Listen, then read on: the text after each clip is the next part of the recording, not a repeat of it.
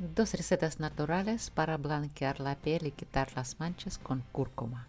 Esa mascarilla facial para blanquear el rostro. Hay que mezclar dos cucharaditas de yogur natural y una cucharadita de miel y una cucharadita de cúrcuma en polvo. Mezclar y ya está lista tu mascarilla.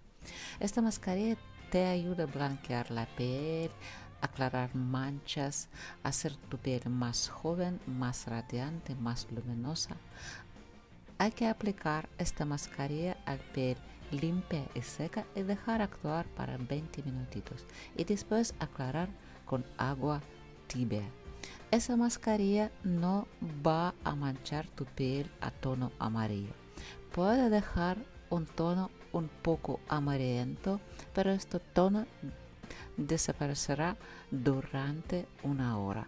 Por eso, mejor aplicar esta mascarilla por la noche. Después puedes usar una crema hidratante.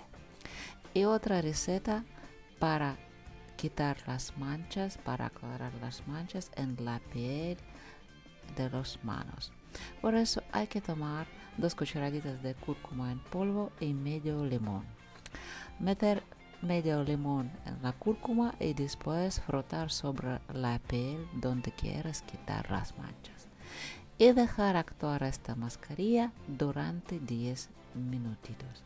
Después aclarar con agua tibia y aplicar una crema hidratante. También puedes aplicar un poco de aceite de oliva o aceite de coco. Y esta te ayuda